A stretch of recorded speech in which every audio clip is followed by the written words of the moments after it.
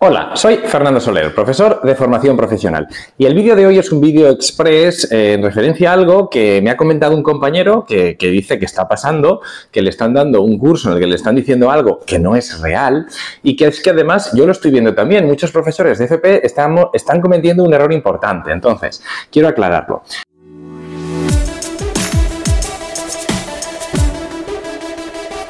A ver, en formación profesional no evaluamos por competencias, ¿vale? Al menos no evaluamos por competencias comprendidas como en la ESO habréis visto, al menos en la comunidad valenciana, ahora mismo está todo el profesorado de la ESO, están ahí, venga a poner el tema de las competencias y el alumno, que, pues cómo ha sido su grado de alcance del aprender a aprender, de las competencias digitales.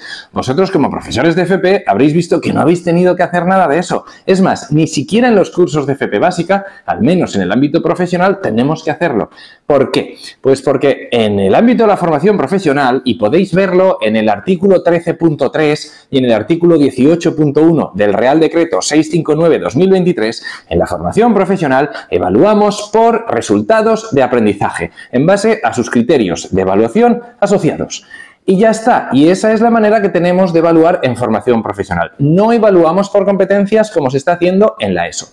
Entiendo que esta confusión debe de venir, aunque ya os digo que ese no es mi campo, pero debe de venir porque entiendo que en la LOMLOE se dirá del tema de evaluación por competencias y entonces como eh, nosotros estamos incluidos también dentro de la LOMLOE, entonces habrá gente que se habrá confundido por esto. Quiero pensar que es por este tipo de cosas. Pero es que nuestra Ley Orgánica 3 2022 y nuestro Real Decreto 659 2023 lo deja bien claro. La evaluación en la formación profesional es en base a resultados de aprendizaje y sus criterios de evaluación asociados. ¿De acuerdo? Y vuelvo a decirlo, podéis verlo en el artículo 13.3 que habla de que los, cuando se trabaje eh, basado por proyectos eh, coordinando diferentes módulos, hay que decir qué resultados de aprendizaje van de cada, de cada módulo y evaluar cada uno de ellos por separado. Y podemos verlo también en el artículo 18.1 que dice que en la formación profesional se evalúa por resultados de aprendizaje en base a sus criterios de evaluación asociados. ¿Vale? Si vais al artículo 18.1, veréis que también habla de que en los grados A, creo que dice, pues también habrá que ver la globalidad de las competencias. Aquí sí que nombra competencias. Si os vais a los, a, los, a los reales decretos, cuando se definen los títulos, veréis que en los primeros artículos, habitualmente artículos 4 y 5, pero depende del título, pues se habla de la competencia general del título, de las competencias profesionales, personales y sociales, ¿vale? Bueno, pues es verdad que si un alumno no ha aprobado todos los resultados de aprendizaje de todos los módulos de su título el equipo docente, si ve que se han alcanzado las competencias del título, pues puede decidir darle el título, lo cual viene a querer decir lo que hacemos toda la vida, que si el alumno lo ha aprobado todo, excepto un módulo en el que tiene un 4, pues oye, se le dice al profe en la evaluación, ah, pruébalo y que se lleve el título. Básicamente es eso. Pero cuando evaluamos, evaluamos en base a resultados de aprendizaje y sus criterios de evaluación asociados. Así es que no nos confundamos con el tema de la evaluación por competencias. Y lo estáis viendo ahora que toda la gente de la ESO está, venga, a evaluar por competencias competencia digital, aprender aprender y tal. Y en la FP no lo estamos haciendo, porque vuelvo a repetirlo, nosotros evaluamos por resultados de aprendizaje, no por competencias. Sí que hay una cosita más que decir y es que, eh, oye, pues yo en la programación pongo unidades didácticas y evalúo por unidades didácticas. ¿Esto es legal? Depende. Vamos a ver, hay comunidades autónomas que es suficiente con que digas cada unidad didáctica, con qué resultados de aprendizaje se asocia y que todas las unidades didácticas cubran todos los resultados de aprendizaje de cada módulo. Hay, comunidades autónomas en las que con eso es suficiente. Hay otras comunidades en las que no, en las que a la hora de hacer la calificación del módulo hay que calificar cada resultado de aprendizaje por separado y además con un peso para cada resultado de aprendizaje. Esto va a depender de en qué centro y en qué comunidad autónoma te encuentres. En cualquier caso, es un poco lo mismo.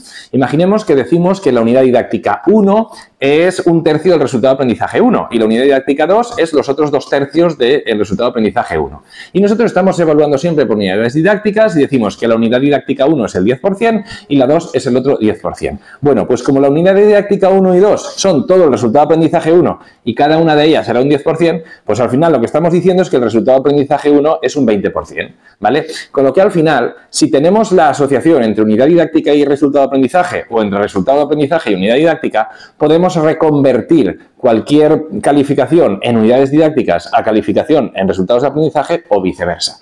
Con lo que realmente es un poco lo mismo con tal de hacer este juego matemático. Bueno, pues eh, simplemente que lo sepáis porque es algo que se está confundiendo mucho la gente, igual que con las situaciones de aprendizaje. Ay, ay, en FP tenemos que aplicar las situaciones de aprendizaje. A ver, una situación de aprendizaje es los contenidos a aprender aplicados a la vida real. Pues eso es la FP, los contenidos a aprender aplicados a tu profesión. Entonces, para mí no tiene sentido hablar de situación de aprendizaje en FP porque todo es una situación de aprendizaje en FP. ¿De acuerdo? Entonces, no confundamos estos términos de la ESO, ¿vale? Que son de la ESO, no los confundamos. Nosotros no tiene sentido hablar de situación de aprendizaje porque toda la FP es situación de aprendizaje y nosotros no evaluamos por competencias, evaluamos por resultados de aprendizaje y sus criterios de evaluación asociados. ¿De acuerdo? Que diréis, bueno, pero es que en realidad estos resultados de aprendizaje vienen a ser la materialización de las competencias. De acuerdo, si queremos rizar el rizo podemos encontrarlo, pero nosotros evaluamos por resultados de aprendizaje. Hasta el próximo vídeo.